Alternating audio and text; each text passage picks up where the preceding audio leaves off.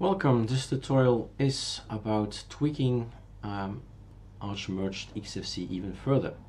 I've opened this up. Where does this come from? This is this little button down here, all settings.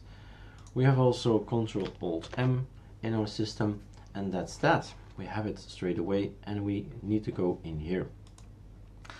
What I always tend to do, and that's of course uh, my preference, is to go to the compositor. Now the compositor is the one that makes your system beautiful. The shadows, the transparency, we see here a shadow at the end. Um, in OpenBox, that's Compton. In i3, that's Compton.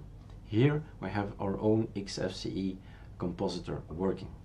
So if I want opacity of windows during move, I'll take something like this and then if you move it around, you can just take a look and see through it. So I kind of like that. Opacity when windows during resize is the same thing, but then you must resize on the top here.